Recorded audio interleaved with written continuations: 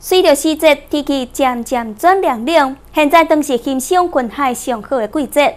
六国乡大轮山就农民运用缩时摄影来记录当地难得的美丽风景。伫咧镜头前的白云，就敢若亲像海洋共款变化多端，景色嘛随着无共款的时间，有了无共款的变化，景观会当讲是相当的迷人。天气渐渐变寒。每一年十月份开始到过冬的四月份，是六个乡大轮山欣赏云海上适合的时间。伫当地就有农民利用缩时摄影来记录当地难得的美丽风景。伫镜头进前的白云，就亲像海浪共款，变化多端，相当壮观。诶，我们大轮山这边哈，在冬季的十月份以后哈，到四月份哦，它是云海季哈。那这边的云海哦，相当的漂亮哈，以及。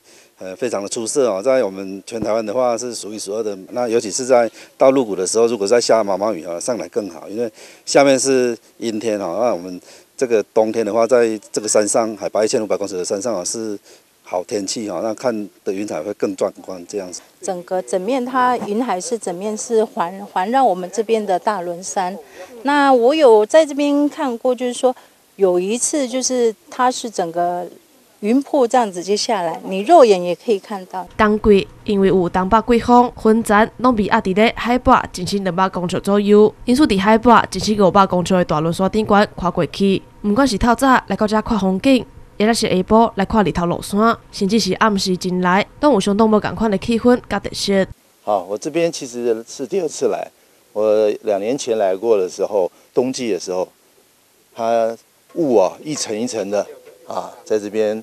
就像动画片一样啊，在这边运行着，那种感觉跟今天呢艳阳高照，这个能见度这么好，感觉又不一样了。那云海的话，像冬季的云海，常常在早上一大早就有就会发生了，所以说早上大概八点八点多就可以上来。那它如果搭配在晚呃傍晚哦，傍晚时分在黄昏的时候，那太阳下山跟随着云海的时候，那那个美景又是不一样的一个感受，这样子。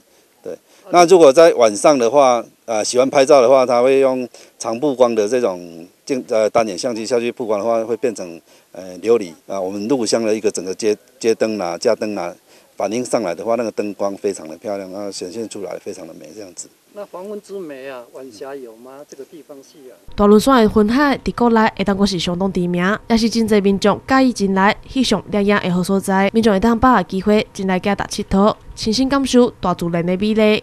记者刘璇从报道。